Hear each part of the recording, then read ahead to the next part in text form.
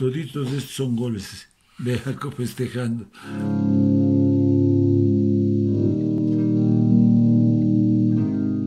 Yo tengo una trayectoria pegada al fútbol desde infantil, pero en secundaria pasé al Instituto Nacional Mejía y ahí en el Instituto Nacional Mejía, del primer curso al tercero que fui seleccionado del colegio y pasé a la Argentina, mi trayectoria se transformó exclusivamente en quererle, en admirarle, en pensar que ese era mi destino. En el colegio Mejía, el entrenador, el gato Maldonado, que era jugador de la Argentina, actual Deportivo Quito, me colocó en la segunda categoría ya en segundo curso Siendo el segundo curso pasé a tercer año, a tercer año y ahí ya me, me llevó a la Argentina, pero tuvo que pedirle permiso a mi hermano Osvaldo, que estaba estudiando ingeniería en la universidad, y a mi papá, que tenía un negocio a 50 metros de la Plaza del Teatro. Puesta, la propuesta de Barcelona,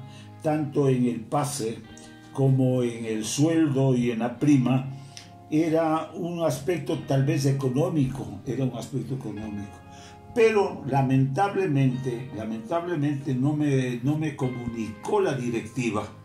Lo que pasa es que ellos habían aceptado por la prima que pagaban, devolvían la prima al Deportivo Quito. Viendo yo eso, lo que pasa hoy día con Messi, me duele y, pero ya me compró y ya estoy en el equipo que en ese ha sido, es y será el equipo más popular del Barcelona. Fue eso, pero así mismo cumplí y regresé al Deportivo Quito.